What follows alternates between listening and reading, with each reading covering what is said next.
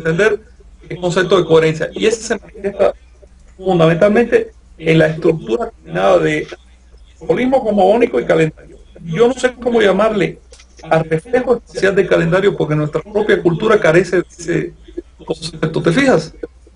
Sí, sí. Y nosotros no tenemos una... Bueno, no solo en el caso del calendario, hay muchos, este, muchos conceptos que para poder definirlos en, en nuestra cultura, una sola palabra requeriría de un párrafo por lo menos. Sí. Sí, también, y este... Y bueno, bueno, también lo que comentábamos, este, pusimos un, un video de, donde habrían los, este, los mayas, e igual, pues respetando el color de los rumbos y demás, lo cual, pues también, este, nos da una idea, ¿no? Cuando se altera en algo, ya termina siendo otra cosa, ¿no? Entonces, es importante, pues, asirse a, los principios de la ideología nahuaca, ¿no? Que incluye mayas, mexicas, toltecas, totonacas y demás, ¿no? Algo que me gustaría contarles que es una sorpresa, ¿eh?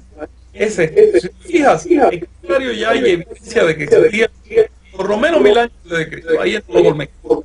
¿Ves? Ya que eh, si se conserva un tonal, ya es dejándolo todo. Un tonal no puede llegar a decir que existe el entero mecanismo de los dos.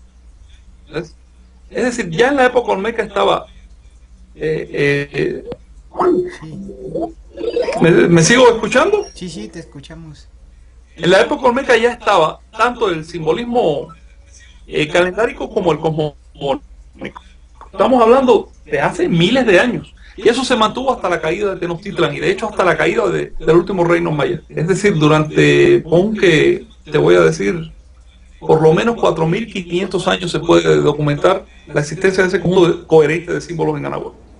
Este, yo pienso que en eso consiste precisamente la toltequidad. Los olmecas dieron con una eh, fórmula para unificar lo que hasta entonces eran sistemas diferentes de comprensión del universo y eh, lo impusieron y se impuso por su propio peso.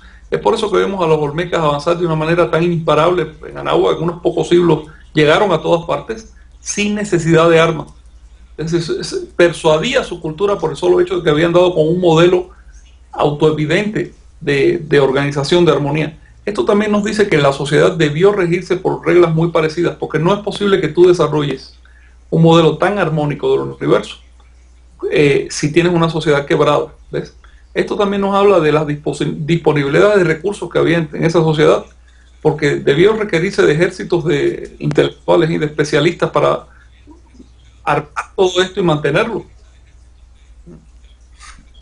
Sí, así es, y como vemos ahí en la parte final tiene estos, estos principios que ilustran justamente las instituciones en la cosmogonía, la sucesión de 13 planos celestes y 9 inframundos y también el calendario, ¿no? Cuál resulta eh, también de este mecanismo, ¿no, Juan Carlos? Sí, sí. Oye, si quieren ir cambiando ya. Claro que sí, la siguiente, ahí vemos el Nahui Papalot. Ah, ya. Nahui Papalot, sí.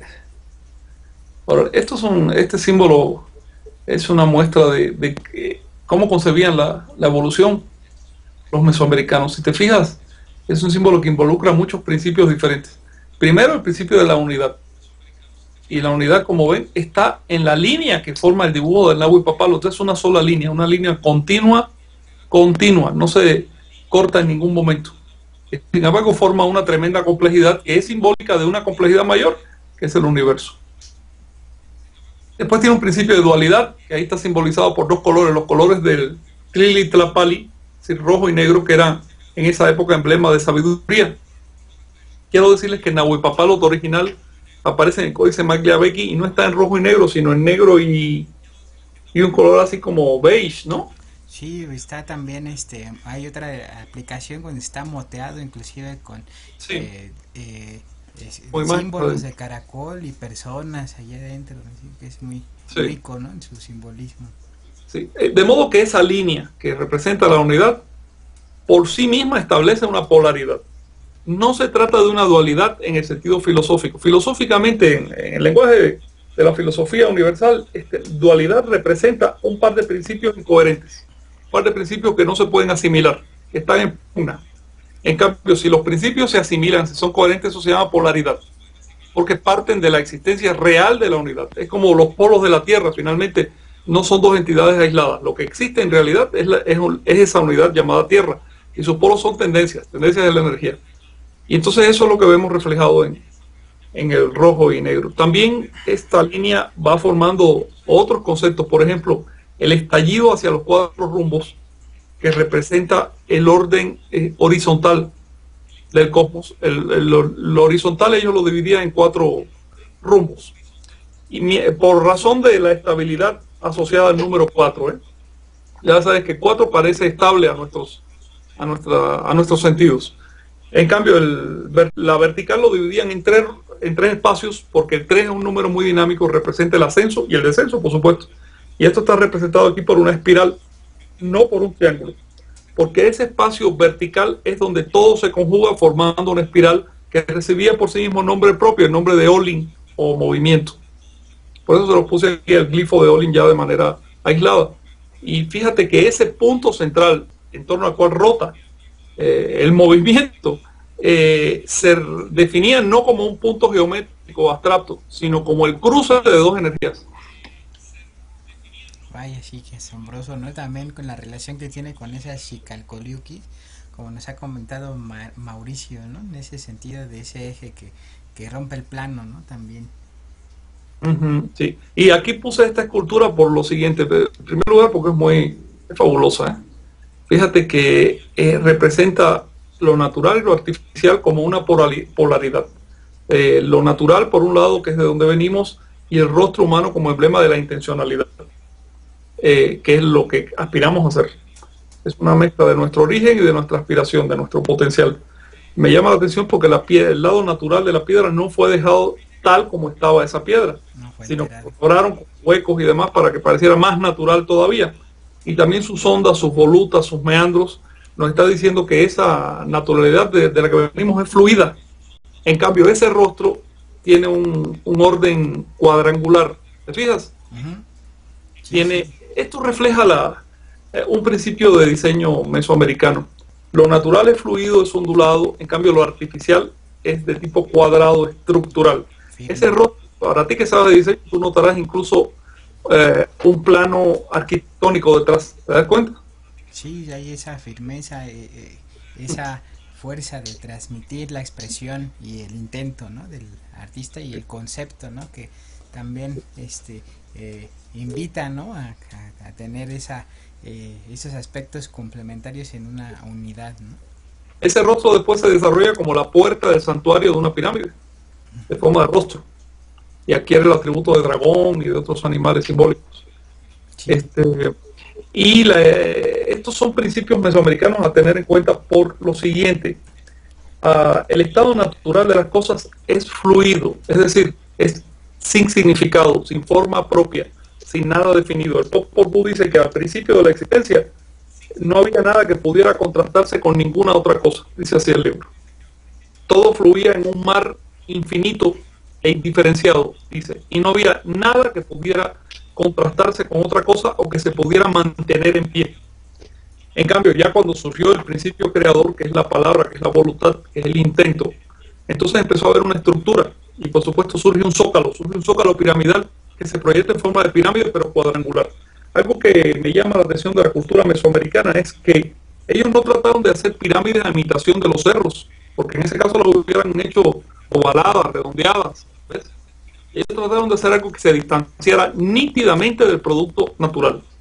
Cuando asociamos a los mesoamericanos con la naturaleza, estamos siguiendo un eslogan moderno y un eslogan que además los discrimina, ¿eh? porque en el fondo podemos admirar mucho la naturaleza y eso, pero no vivimos en la naturaleza, vivimos en ciudades.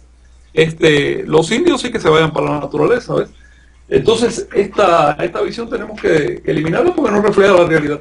Lo primero que hacía un mesoamericano era desbrozar un pedazo de naturaleza y plantar una pirámide lo más puntiaguda Ajá, también Rosita Buchón pregunta que si es nuestro tonal o nahual esa figura que de la escultura. El nahual es natural, el nahual es animal. El nahual no tiene fijezas, no tiene fijación, no tiene significado, no tiene forma propia. En cambio, el tonal todo lo contrario. El tonal se fija, se estratifica, el, tonal tiene una intención muy definida, este, tiene significados, procura construir. El equilibrio entre tonal y nahual es lo que le da desarrollo a las cosas. Si solo somos nahual y fluimos, bueno, eso finalmente es lo que va a pasar cuando nos muramos, volvemos al nahual y no pasa nada. ¿Ves? El arte está no solo en soñar, sino en aprender a acechar dentro del ensueño para construir un mundo. En este momento, si nosotros, si nosotros, eh, es una hipótesis, eh, consideramos que estamos despiertos, estamos en el lado vigílico de la existencia, nosotros estamos siendo sujetos del intento de alguien. Porque la energía nunca cae en el suelo. Y nosotros podemos hacernos partícipes de ese intento y ser co-creadores del mundo, pero a condición de que nos demos cuenta de que estamos viviendo en la naturaleza un sueño. Sí, fíjate Frank, también este Shubuti nos pregunta en relación a la lámina anterior, este, ¿qué se puede comentar acerca de Xutekutli en relación con este día y del cambio de los ciclos? En la lámina de uno de Feyerbeer y Meyer, pues ahí aparece Xutekutli. ¿Qué nos podrías comentar? Bueno, ahí, recuerda que esto es mixteco y que no se llamaba Xutekutli. También es anterior a la época de los mexicas y pues, eh, digamos, es notable como en Mesoamérica en diferentes épocas ha habido, ha habido diferentes formas de construir a las divinidades, porque las divinidades no eran más que símbolos amalgamados, en forma de entidades, de personas y eso, pero eran símbolos que se pueden leer incluso como una oración de escrituras. Y los símbolos se pueden amalgamar de diferentes formas. Entonces no existía en esa época un Xutekutli así que vamos a identificar como tal pero sigue el mismo principio filosófico que después los mexicas reflejaron con el nombre de Chutecutli. Chutecutli es el centro del universo. También se le llama huehue, eh, eh, huehueteo, diferentes nombres que todos se, refieren, se refieren a su ancianidad. Eh, por sí significa señor brillante. De señor precioso. Eh, esto señor antiguo. Este, esto es un metáfora. Se está diciendo con el nombre de Dios viejo y por lo tanto precioso y enamorado de un cofre de turquesas, dice el poema, es que él es anterior a toda existencia, no tiene límites, es infinito, por lo tanto es lo más viejo. Eso que es infinito, pues es la el universo como un todo se consideraba sin principio y sin fin, infinito. Esto se refleja en el calendario en, en esa sucesión asombrosa de órdenes que llega una duración de 28 mil cuatrillones de años hacia atrás y 17 mil cuatrillones hacia el futuro. Por supuesto, mucho más de o durará el universo.